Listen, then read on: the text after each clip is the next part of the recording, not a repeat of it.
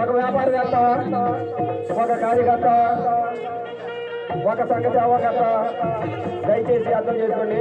ఇంకెవరైనా సరే వైఎస్ఆర్ కుటుంబంలోకి మెంబర్షిప్ తీసుకుంటానంటే ఎవరైనా సరే వైఎస్ఆర్ కార్య ఆల్రెడీ మేము సిమెంట్ రోడ్డు మొదలేసాము. ఇంకా ప్రజలకు కావాల్సినవి అన్నీ చేసి అందరికి అందుబాటులో ఉండి ఇంకా ఉన్నత మన పార్టీని ఉన్నత శిఖరాలకు తీసుకెళ్ళడానికి మేము సర్పంచి నేను సాయశక్తిలో ప్రయత్నిస్తూ ఉన్నామని ఈ సభాముఖంగా అందరికీ హామీ ఇస్తున్నాం.